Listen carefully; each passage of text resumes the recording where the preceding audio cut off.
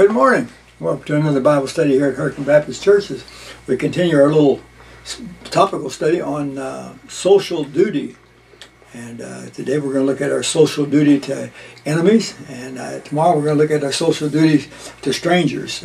we have a obligation. Remember, we talked about our neighbors and our social duty to brothers and sisters, and we've been studying our responsibility as a Christian. And, and I, I think that as we as we just look at this study, we can uh, just pour a little little messages together, if you would. Uh, it kind of covers the whole spectrum of everybody we come in touch with. And uh, we know that uh, there's times we come in touch with people that uh, don't want us around, and maybe we don't want to be around in that. So, but it tells us as uh, ministers of Christ, as uh, disciples of Christ, we need to be demonstrating that love and that care for everybody, even to those that uh, don't care for us. And so we're going to talk about that a little bit this morning here for a few minutes. So I'm going to look at social duty to enemies. You know, an enemy. What is an enemy? Well, it's a person that uh, doesn't really want good for you. Uh, they're you can call them an adversary. Um, they they're someone that, that, looks for ways to hurt you or to damage you in some way or another. Maybe physical.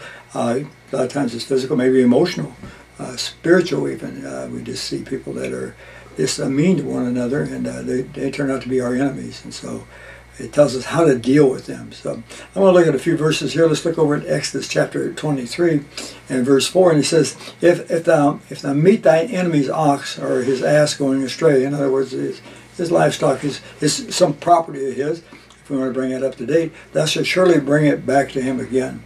And so he said if you see your neighbor's animals uh, drifting away, we come from a farming community, and uh, if you see somebody's a cow or the hogs or something's out, you know, you, you do what you can to get them back in to help notify the people that own them anyway that they're out. And uh, we do that with, you know, we look at that even past uh, in personal property and, and uh, things that uh, we see that, that may need attention.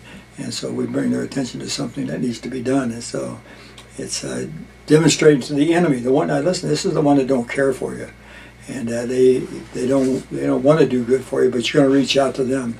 And then it, in uh, Proverbs 24, 17, uh, he says, uh, rejoice not. Listen now, rejoice not when thine enemy faileth. In other words, something bad happens to your enemy. Don't, don't rejoice in that, and let not thine heart be glad when he stumbleth. In other words, if you see your uh, someone that uh, a guy, a lady or man that doesn't care for you, you know they're considered your enemies, and uh, they're trying to destroy your testimony. Maybe they're trying to hurt your life or whatever. Uh, he says if something happens to them, maybe they get sick or lose their job or something. Don't don't you know, hey, you know, they they deserve that. You know, the way they treat me and that's, you know, they deserve to have these things happen. Well, we don't want to do that. That's not the that's not the showing the love, is it? Remember, we talked about love several times, and what is love is to to look at somebody and want the best for them. We want to do what's best for them. So even with our enemies, he tells us, and we're going to see that in a little bit about what we need to have an attitude toward our enemies. So when our, something bad happens to someone that, that uh, is considered your enemy, uh, you don't just, you know, hey, they deserve it and so forth. We, we do what we can to help them through that time. And sometimes that works to advantage. Sometimes they don't receive it well, but at least we do our part. Okay. And excuse me, then we go to Proverbs 25 uh, and verses 21 and 22. He says, Now if the, the enemy be hungry, give him bread to eat. And if he be thirsty, give him water to drink. So if you see your enemy has a need, he's hungry, he's thirsty, he needs something, you know, maybe shelter, need to clothes, whatever.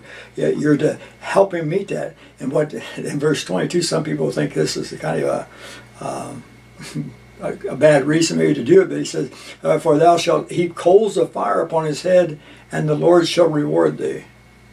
In other words, it, he, thou put the heaps of coal of fire upon the head, and the Lord shall reward thee. In other words, it's not literal fire. What it is is to maybe make a person feel so self-conscious, so maybe ashamed or embarrassed that after they've treated you so bad and done so many bad things for you, and quote unquote is your enemy, and here you are meeting their needs, and they would feel, you know, embarrassed and guilty. Uh, on the same idea, if we went over to Romans, I'm going to turn over to Romans in chapter, here we get to chapter 12, and verses 19 to 21. And here's what he says over there. He says, Dearly beloved, avenge not yourselves, but rather rather give place unto wrath, for it is written, Vengeance is mine, I will repay, saith the Lord. So when somebody mistreats you, you don't, don't get even. But we go down to verse 20.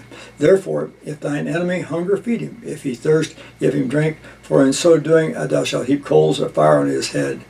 And then verse 20 says, Be not overcome of evil, but overcome evil with good. And it goes back to the same idea of the, the coals of fire we read about over in Proverbs. The idea that uh, by doing good for somebody, you know, maybe they'll, they'll, reconsider how they think of you or how they treat you, that, that you might embarrass them or, or make them feel guilty enough that they would repent and change, and you might change from an enemy then to a friend. So, and the whole idea is what? The whole idea is to demonstrate the love of Christ that they might see there's a difference uh, in you than there is in the world. So we, we do these things with the with the ultimate goal. The ultimate goal is to see that person uh, come to know Christ as their Savior. And so we go well, one more place here. I'm going to go over to Matthew chapter 5, and uh, we're going to look at verse uh, 44. I'll just go up to verse 43 here, and start in Matthew chapter 5. Uh, we know this is the Sermon on the Mount. Uh, that Christ gave, and we just got through reading about the, the Beatitudes and so forth. And we get down here to verse 43. Ye have heard that it hath been said, Thou shalt love thy neighbor and hate thine enemy. Okay? He said, But I say unto you, love your enemies, bless them that curse you, do good to them that hate you, and pray for them which despitefully use you and persecute you. Verse 45, that ye may be the children of your Father which is in heaven, for he maketh the sun to rise on the evil and on the good, and sendeth rain on the just and on the unjust. And of course, we go and read a bit. I'll read verse 46. For if you love them which love you, what reward have you? Do not even the publicans the same? So when we get back up to verse 44, it says, Love your enemies, bless them that curse you, do good to them that hate you, pray for them which despitefully use you.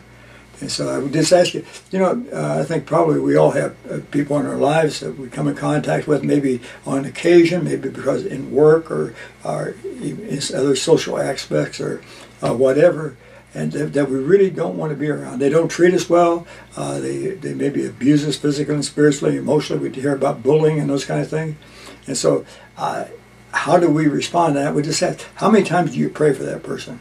And I'm not talking about praying in imprecatory prayer that God will strike them dead or anything bad to happen to them. We just talked about that. But how many times do you pray that their attitude would change, that, that God would be able to touch them somehow, maybe even through your testimony and how you react to all these circumstances, that God might be able to touch them and draw them uh, to himself, that they might become a Christian. And guess what? If they become a Christian, they'll no longer be an enemy, but then they'll be a brother or sister in Christ. And so he tells us right here what to do, how to respond to that. He says, we love them. What, is, what does that mean? It means I, I want the best for them.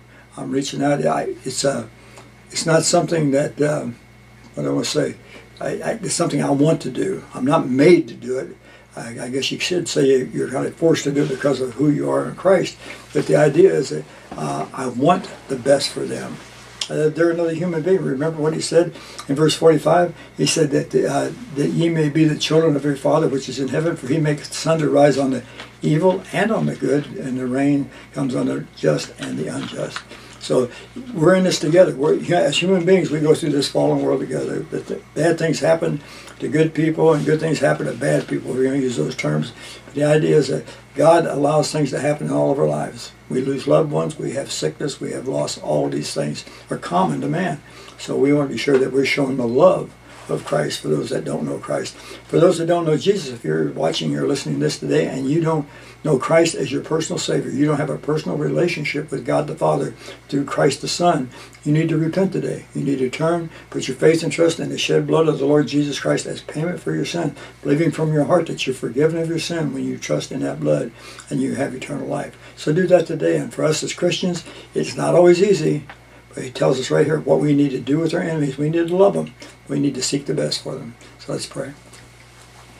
Heavenly Father, again we thank you for this day and for this time. We pray you would be with each one of us as we walk this pathway of life, that we would be obedient to your word, Lord, and, put human emotions aside sometime and just those things that we get uh, upset with, Lord, and those people we get upset with, help us to demonstrate the love of Christ and show that, that we care about them and, and that, that you care about them. And those that don't know Christ, we pray we would make an effort to share the gospel to lead them to you. So those that don't know Jesus, we pray this would be the day that they would repent, turn and put their faith in Christ and have eternal life. We thank you for loving us.